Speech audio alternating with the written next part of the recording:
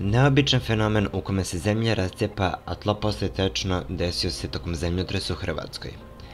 Razoran zemljotres jačine 6,3 stepeni Richtera pogodio je juče područje Petrinije u Hrvatskoj, a osetio se i u Srbiji. Pored Petrinije koji je u ruševinama u potresima koji se nastavljaju nastradao je i Sisak. Meštani su uplašeni jer se pod njihovim nogama otvaraju pukotine u tlu i zemlja postaje tečna.